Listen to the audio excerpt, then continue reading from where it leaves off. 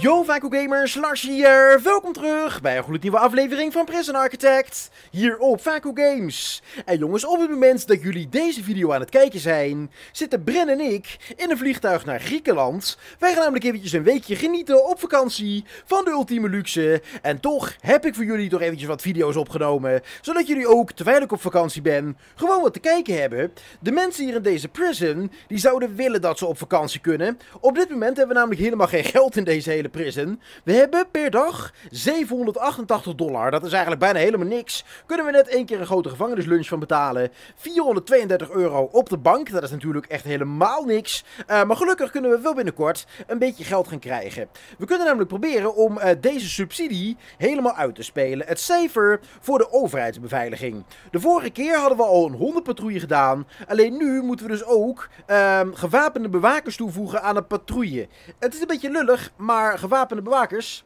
die kan ik niet kopen. Ik heb wel de wapenkamer, maar ik heb gewoon simpelweg geen geld uh, voor de bewakers. Dat wordt een beetje lullig. Kijk, als ik hier ga kijken bij personeel, um, gewapende bewaker, 1500 euro knakies. Oftewel, daar hebben we helemaal geen geld voor.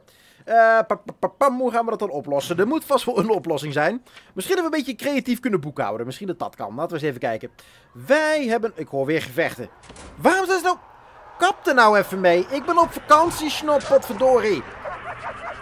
Ik heb toch helemaal geen tijd om met jullie gevechten bezig te zijn. Ik moet creatief boekhouden. Dat is wat ik moet doen. We moeten namelijk proberen om 3000 euro op de bank te krijgen. Dat is onze goal. 3000 euro. Als ik deze nou cancel...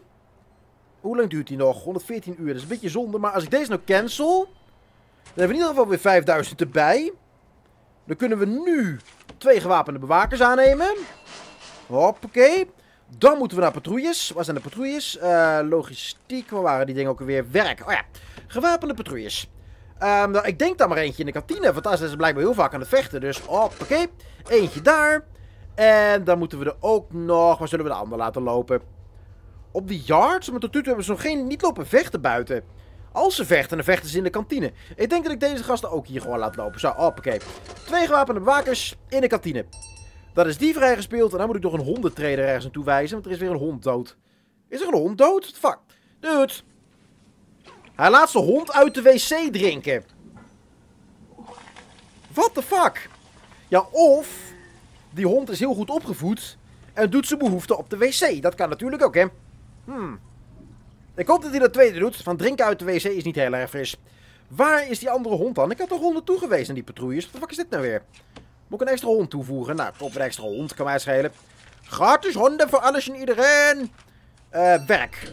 Ah, hier. 15.000 euro. Oké, nice. Dan kunnen we meteen door. Met de volgende subsidie. Even checken. Welke is handig? Voeding voor gevangenen. We kunnen hem wel eventjes doen. Onderzoek naar de voeding van gevangenen.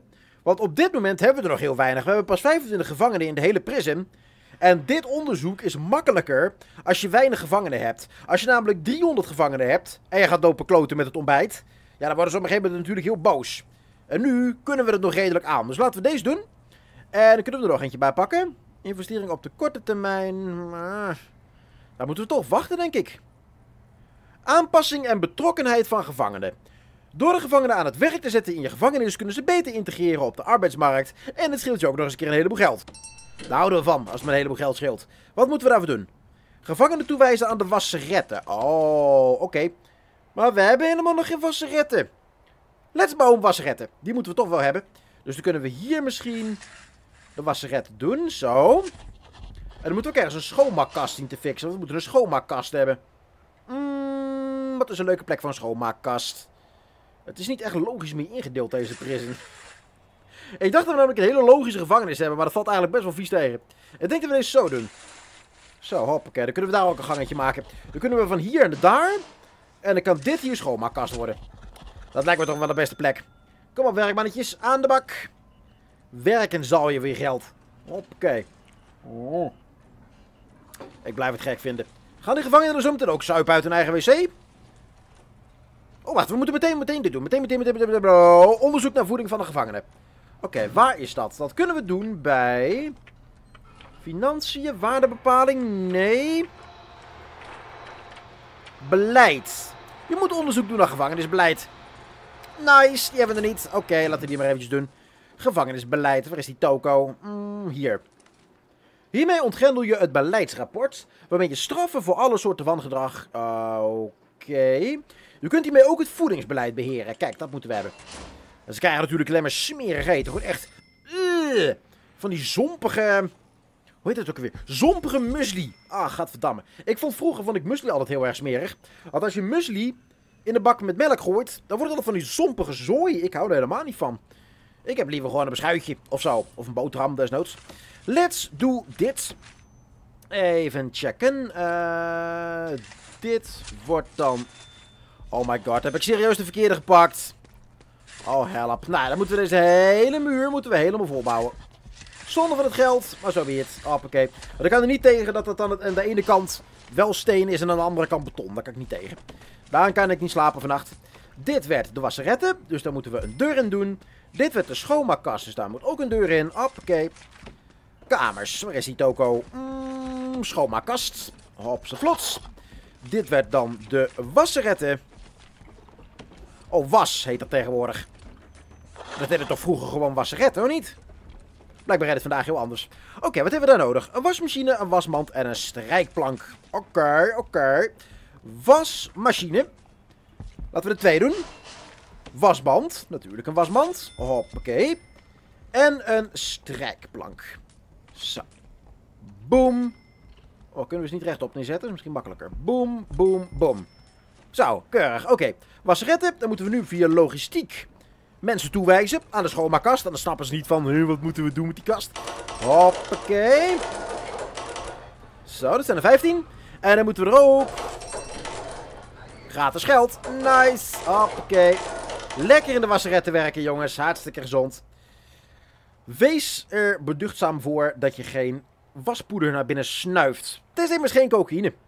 Tenminste, daar ga ik toch wel een beetje vanuit. Oh, we moeten wel het water aansluiten op de wasmachine natuurlijk. Anders doet hij het niet, G. Uh, zo. En dan... Hoppakee, bam. Oh, en elektriciteit natuurlijk. Gaat onze stroom dat toch redden? Kunnen we hier nog twee wasmachines op aansluiten? Mm, denk het niet. Laten we gauw condensatoren erbij zetten. Zo, hoppakee. We hebben nou een beetje geld. Laten we dat meteen doen. Dan zitten we zo meteen weer met de gebakken peren, jongen. Of nee, dan zitten we zonder de gebakken peren. Want dan kunnen we de peren niet meer bakken, omdat het voor nu zit niet meer doet. Het is allemaal ingewikkeld. Het is moeilijk, een spelletje. Het is best wel lastig. Kunnen we ondertussen al beleid voeren? Of, uh... Oh, een paar seconden. Nice. Kom maar door. Tingeling. Oké. Oh, over een paar seconden moeten ze, worden ze wakker. Dat is helemaal nice. Hoeveelheid maaltijden is laag. Afwisseling is ook laag. En dan moeten ze als het goed is maar één keer eten per dag. En daarom worden ze flink chagrijnig. Oké. Dus dit zou moeten werken.